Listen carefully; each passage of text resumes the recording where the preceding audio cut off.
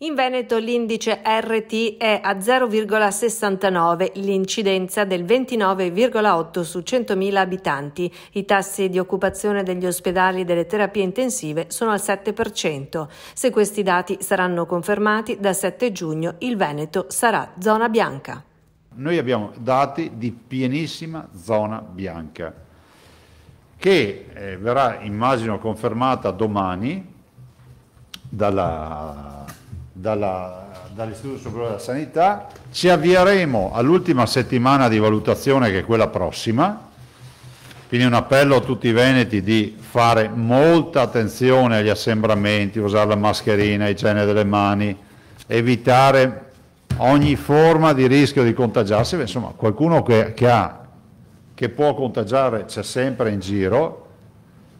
E se venerdì prossimo avremo ancora confermata la zona bianca, a seguire, a, scusatemi, questi parametri entriamo in zona bianca. Cioè zona bianca non è la zona che precede, come ho detto ieri, la zona trasparente, siamo rossa, arancione, gialla, bianca, non ce n'è un'altra.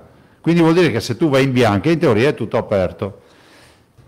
Abbiamo portato avanti quella proposta che io ho fatto di applicare da subito le aperture previste dal decreto nelle settimane e nelle giornate successive, che so, il 15 giugno l'apertura delle fiere, se entri in zona bianca, se vuoi fare la fiera dal 7 di, dall'8 di, di, di giugno la puoi fare. Così anche, vi ricordo che ne ho parlato in più occasioni, rispetto al coprifuoco, si dice chi va in zona bianca cessa col coprifuoco.